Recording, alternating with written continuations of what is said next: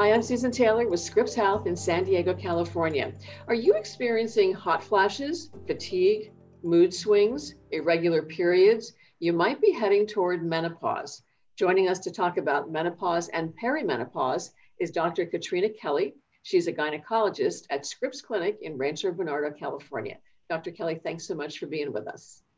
Thank you, Susan, for having me. Sure. All right, well, let's start with the basics. What is perimenopause?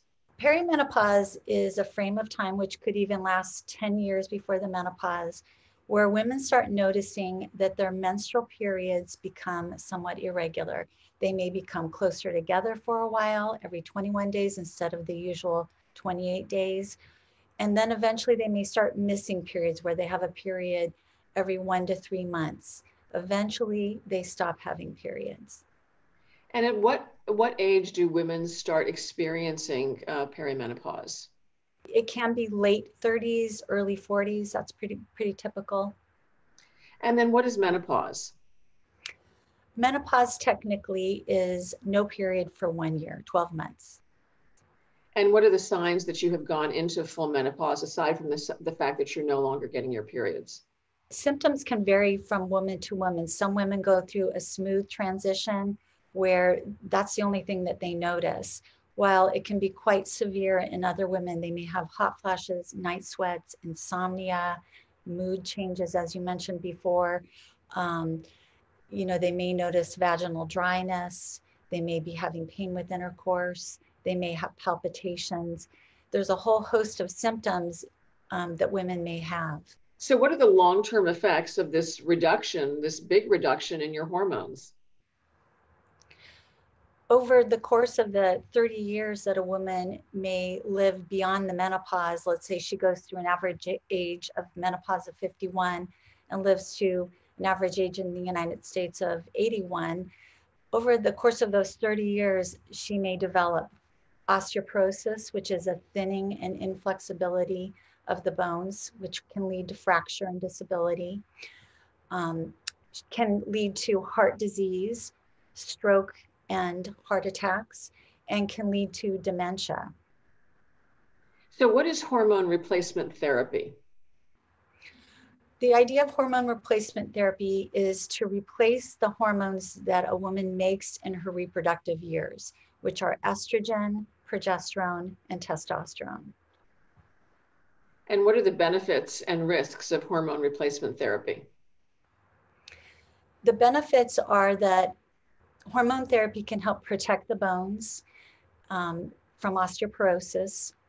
Um, it can also help protect, protect against heart disease and protect against dementia, all different types of dementia, including Alzheimer's. And what about the risks of hormone replacement therapy? Hormone therapy does, depending on the type you're using, carry a small increase in the risk of breast cancer. But if you look at um, the North American Menopausal Society's statement in 2017, they stated that they felt the benefits outweighed the risks in terms of hormone therapy.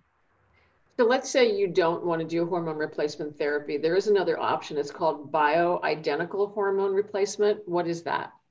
It's a product that's synthesized from plant sources and it is synthesized to look like your natural hormones. So, for example, your main estrogen that you make is estradiol.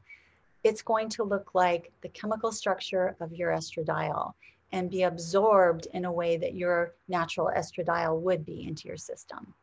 So, what are the benefits and risks of this bioidentical hormone replacement therapy?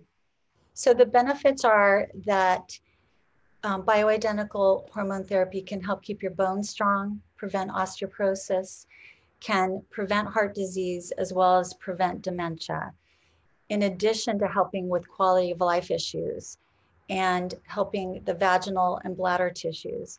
Um, the risks that are considered are a slight increase in the risk of breast cancer. And the most important study that was done showed there was one more woman per thousand per year who developed breast cancer over not being on hormone therapy at all. And that was the Women's Health Initiative study. Why would someone choose um, the bioidentical hormone replacement versus the traditional hormone replacement therapy? bioidentical hormone therapy, because it looks like the hormones that your body produces, is going to bind to the receptors in your body the way it should. Therefore, women tend to feel better on it. Um, they also have, we, we believe there are less risks involved with bioidentical hormone therapy. So, in addition to hormone replacement therapy, um, what kind of lifestyle changes can you employ to reduce your symptoms? In terms of hot flashes and night sweats, we know that women who weigh less tend to have less hot flashes and night sweats. So, weight reduction can be helpful. Eating a healthy diet, avoiding alcohol, too much caffeine, too, too many um, sugar products can be helpful regular exercise can be helpful. Some products can be helpful in terms of tolerating the symptoms. For example, wearing breathable clothing at night when a lot of women are woken up by their night sweats. Wearing a cool pad underneath your um, sheets on your mattress. Uh, there are pillows that are made now where you can um, have a coolness under your head. So if you're experiencing a night sweat, you sleep a little bit better. So those are some practical things that can be done. Um, some women get a little benefit out of over the counter um, supplements, that's non prescription um, supplements, uh, whether it be soy products or black cohosh based products, those can be helpful as well. And there are some other prescription medications that we give to women that are non-hormonal that can be helpful with some of the symptoms that women have. Any final thoughts, doctor? I think that whether you're a woman and you're going through your late 30s and starting to have symptoms or into your 50s or beyond, it's important to talk to your gynecologist about what you may be experiencing. And we can help you to figure out an individualized plan, whether it be hormone therapy or something else to help you through this transition. Dr. Kelly, thanks so much for being with us. We appreciate you taking the time. You're welcome. Want more information about menopause and perimenopause? Just click on the link or go to scripps.org forward slash videos. Want more critical information about your health? Please subscribe to our Scripps Health YouTube channel and follow us on social media at Scripps Health. I'm Susan Taylor. Thanks for joining us.